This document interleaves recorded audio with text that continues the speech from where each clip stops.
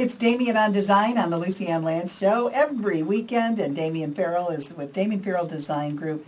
Damian, I have a little story. I don't know if I've ever shared this with you before. Back in the 1980s, early 1980s, I went down to Tulane University to visit a friend, Mhm. and one of her roommates was in architecture school at, Okay. at Tulane. And one night we were all going out to the bar, and we said to her roommate, "Come on, come with us." She was sitting in front of these little toothpicks, gluing stuff together, and she was making the most phenomenal structure I've ever seen anyone do. She had the tongue depressor, she had everything in there. Yeah. I looked, I said, "Is that what you do in architecture Yeah. school?" Yeah, That's the way it used to be. that's the way it used to be. We, we had to make models of all of our design projects, so that was six years worth of stuff. And actually, when we got to the, when we, when our class of 13 graduated from the University of Natal in South Africa, we actually had a ceremonial burning of, of what we all considered to be our bad models. And, and we- we used to use this glue called Bostik, which, you know, it had this, I mean, you could practically get high on this glue. It was like a magic marker. So it was so flammable, and we put the, poured the Bostik glue over models Oh my gosh. and lit them up in the parking lot to celebrate six years of architecture school. But yeah, you'd stay up all night gluing toothpicks and making little trees and, you know, tiny little models. I had never seen anything like it. Oh, yeah, extraordinary. So you know? today, what are architecture students doing? How are they? 3D printing. 3D printing. 3D printing. Oh, what a world we live in. I know, it's just changed phenomenally. And we have an example here in the studio of a project that we are, we did in our office. Unfortunately, it's a well-known and somewhat controversial project, the Near North Housing Project, affordable housing. It didn't happen, um, as we know. It's right on, it was planned right on Main Street.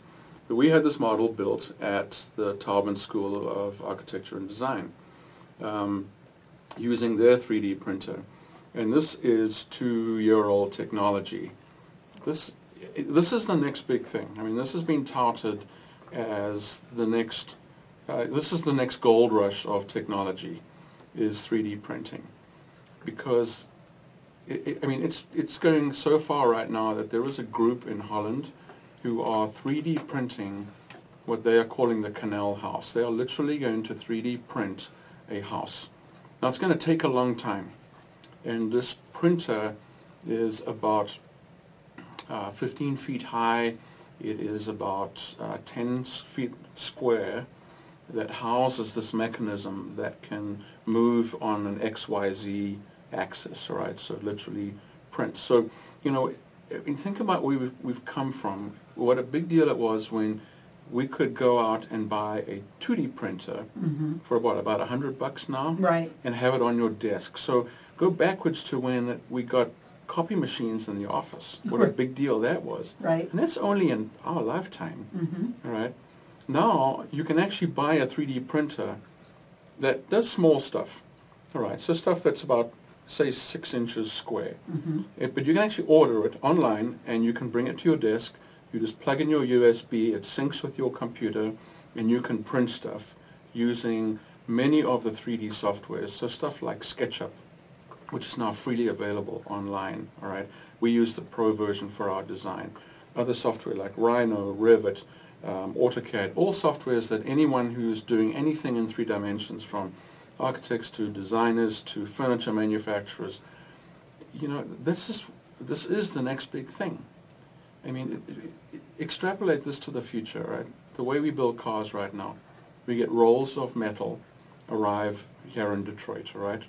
Huge rolls of metal weighing millions of pounds. That metal then, pieces get joined together, they get stamped, they get, all the components get put together on assembly lines. Mm-hmm. Take a door of your car, look how thick your, the car door is. And when you're 3D printing, you can mix in different materials, different colors. You could conceivably take a door of your car and 3D print that car, that door, starting with the steel or the aluminum or whatever metal you're using on the outside, coming through that thing to the plastics, to the fabric, and have that done. I saw a guy who actually is in the process of making a whole 3D car. Yeah. Unbelievable. So what is, the, how, you, instead of ink, right? Yes, You're putting in you're putting in a material. the material it is. Putting in, and so where we're, used to seeing the inkjet cartridge go up and down the paper, right? Choo, All over the paper. This is doing exactly the same thing, but it's moving in the vertical and horizontal, horizontal axes at the same time. So not only is the printer moving, but the bed on which you're making something is moving with it. Hmm. So in the most simplest form, the things that are being printed now are generally out of plastic, recycled plastic. And the raw material comes in little pellets, little quarter-inch pellets. And then the, the jet is heated. So it's pulling this, these little pellets out, and as it hits the jet, it's heated and melted and then printed. Or it's done in, the, in a powder form like this model we have here. And when you touch this particular one, it actually has a sort of grainy, powdery feel, as you Mhm. felt. But in this model, you know, we've printed a major city area here with probably about 20 houses, the house forms, all perfectly accurate, and the contours at six-inch intervals. And so when you run your fingers over the site, you can feel these very subtle contours. But this model is absolutely perfectly to scale. And, and, it, and we, you know, this, even the openings and the windows and the porches are left out, as you will, as it's printing.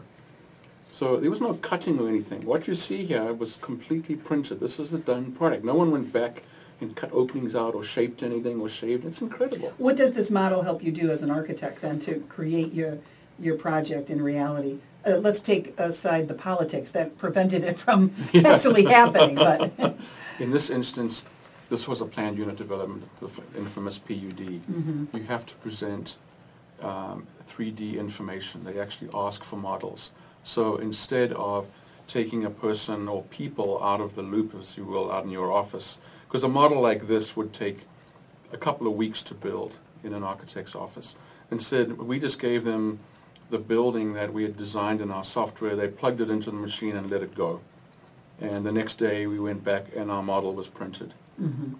done. So, you know, push that forward to things like prosthetics, um, facial prosthetics, eyeball prosthetics, uh, legs, medical instruments, things that require extraordinary precision.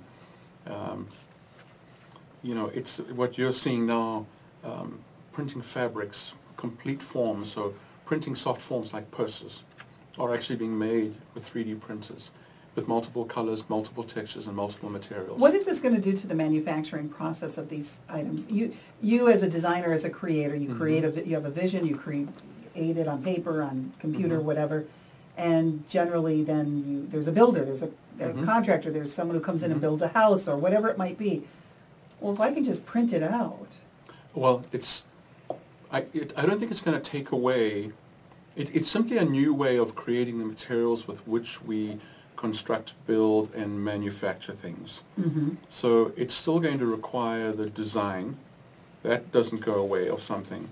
So where I see the real power lies is its sustainability. So the ability to minimize our use of natural materials where where we have uh, we, we're running out of stuff. You know, let's try to take the pressure off wood products and so on, which we're seeing already. Looking at simplest form decks and so on, where we can make stuff with synthetic materials with wood fiber instead of cutting the trees down. You know, so we can use fast growth stuff, and we can print with that, hmm. and we can make beams. We can make structural elements. We can print frames of windows, if you will, with fiberglass, with plastics, with molten steel. I, I don't think it's going to take away. I think we're just going to get higher precision, more efficient, um, faster, more reliable product. But we're still going to have to assemble and put things together. Mm-hmm. Um, it's just better quality. I think that's where we're headed, and speed. Another interesting issue is this whole copyright or, Yeah. you know, I- how that impacts it as well. Yeah. There's a piece here that uh, Aaron McNair, who's your wonderful studio manager at uh, Damian Farrell Design Group, uh, provided us with, and it is a 3D printed metal and open source chair designs that uh, made it into a New York exhibition. Uh, and it, this exhibition um, included a blueprint for a chair that can be altered and produced by anyone with a 3D printer. Yeah. Open, that open source. That's exciting, you know. Well, think of what Tesla just did, right? Elon Musk just released all of the patents of their battery technology. Released all of the patents. So the ability for other people to take stuff and do things with it. And I think that's been a trend with software. Right? Mhm. Look at apps and so on. There's Right. the whole idea of making so much more available to every other person. So yes, if, if you are, in theory, if you had the money to purchase one of these printers, at that scale, you can imagine that's an, ex- an expensive piece of equipment. But rather than transporting that, if you can purchase the design, say that is that design now is done in China and produced in China. If I can download that on the internet and run that on my printer here or in any other country in the world, I'm cutting down on fuel costs, on shipping costs, those kinds of Hmm. things. It, it's just when you start to think about it. Um, I have an illustration here. It's part of this package that Aaron gave us as well, where in our profession you had things like these traditional steel connectors in a structure. You might imagine something like this. It's a steel pipe with these little flanges with holes on. Okay. So things like um, uh, whole window walls, if you were looking in a building, things that we're familiar with, Mhm. um, uh, space frames, all right, on buildings. Well, this company, Arup, which is one of the most famous engineering companies in the world, then here's a picture of the same thing 3D printed in steel. So this is structural. It can go as it is into the building, but it's, they brought art into it. Because of the printing, you can see how it's almost got this kind of Art Deco liquidy form with detail and pattern and very sinewy pieces extruded in the printing. So this really is the next frontier. Hmm. Are we all going to have a 3D printer in our homes? I think we, yeah, I think so. And I think we're, I think in education this plays a great role. Think of, of projects for kids in home, in your home. So even right now, one of these small printers are around a thousand dollars. All right. There was a time when uh, the printers we bought for our desks were around a thousand dollars. VCRs were a thousand dollars. Yeah, I remember that. They first came Now out. they're 199 Yeah. or even 99, right? yeah. And so kids' projects um, at school that could be where they can learn to program and design and think in three dimensions and then produce these objects as part of their projects. Think of the power of that. Mm.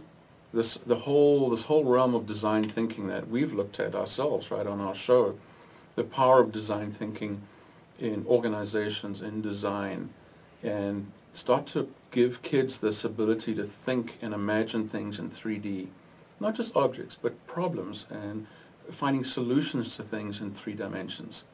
So thinking through organizational things, thinking through product design. I think it's going to open up a whole world of creativity. Amazon just came out with a new phone that allows you to see things in uh, 3D. Yes. And there are some people who are being critical of it, saying it's just a way for Amazon to get you to buy more from Amazon. Uh, Sure. Because now you, oh, you just point this phone at something and it comes up and it, it, it I guess it kind of jumps at you. You can actually see what it looks like if you were there in the store buying Mhm. it. What a world we live in. I know. Well, think, think of, you know, remember the holograms, right? How wonderful that Oh, was. Oh, yeah. you know, and you held it in that whole an early investigation of, of that fascination with taking 2D stuff and showing it to us in 3D. Mhm. It's here now. It really is. It's surrounding us. So there's this massive rush on, huge investment rush, billions of dollars now being invested. Companies are on this treadmill, if you will, this race to try to perfect these machines. Um, things like uh, they're talking about 4D printing in some things, where, the, where that's going to go. We're literally, the addition to water of a 3D printed object enables it to grow to a different size. Mhm. So right now, right, we have the sponges you can get at the kitchen store, right? They're nice and flat, easy package. Put water in, it grows. Well, imagine being able to transport and move product that when you add water or add a liquid grows to a certain size. so when you start to think and you start to futurize some of these ideas, it's just incredible. So as a designer, as a creator, it does not take away from your creativity? No, it enables. I see this as completely enabling better and and we've seen it in architecture. The the forms that are coming out in architecture, the the, the people moving away from traditional roof wall floors and where the whole building becomes pieces of sculpture. So people like Frank Gehry, you know, is very well known for his bent metal facades and bright shiny things. The the Jelly Bean in Chicago, right at Millennium Park. That oh, we're headed to the point where that can be printed and not just made on a steel frame and covered. So the things that we can imagine are now at the point where they are going to be accessible to everyone. Damian Farrell from Damian Farrell Design Group, local architecture firm here in Ann Arbor, on the air each week with Damian on Design. Fascinating look at 3D printing and Yeah. where we're headed. Mhm. Thanks so much. You're welcome. And we're coming up on the Lucy Ann Lance Show, 1290 WLBY. That was excellent. It's incredible You- what's It was really good. You did It's incredible. job. Thank you for all your hard work on all this. Yeah. notes. I just you know look at aren't these things just beautiful? Yeah, they are. I mean, you think so? They're made like this, right? Yeah, They're not being bent and shaped. Yeah. They just. choo, choo, choo, choo, choo. wow, amazing. I don't know what kind of world we live in. I don't I care. think I think it's so exciting. It is. Things are going to be safer, stronger, better tolerance. Mm-hmm. Um, you know, I mean, it's like it's like taking a sewing machine in some ways. That technology, knitting machines. Remember Oh knitting yeah, how they machines? do. Yeah, yeah. That's that's a good analogy. you know, and, and extrapolating that into these extraordinary forms and shapes and so all of this, this would be two colors Right. injected from two different sources and the machine just knows when to stop and start the color. So even though it looks like it's all these pieces actually put together, it's not. Oh wow.